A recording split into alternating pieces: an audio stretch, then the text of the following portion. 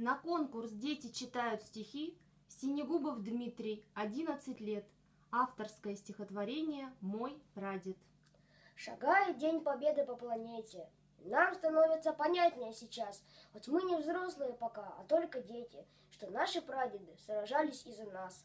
И если бы они не победили, не отстояли села, города, мы по земле бы нашей не ходили, нас не было на свете бы тогда. И вот за нашу жизнь под мирным небом, где нет в помине линии огня, в год сорок пятый возвратиться мне бы, чтоб прадеда любимого обнять. Я бы эту встречу посчитал за праздник и поспешил бы, коль настал черед, сказать ему, что жил он не напрасно и нынче в своих правнуках живет. Пусть землю взрывы близкие колышат, Вокруг сгущается военная гроза.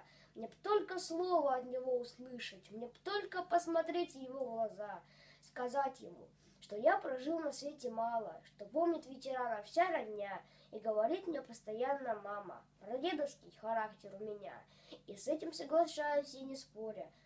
Особый смысл в этом тоже есть. Похожим быть на прадеда, героя, для правнука, мне думается, честь.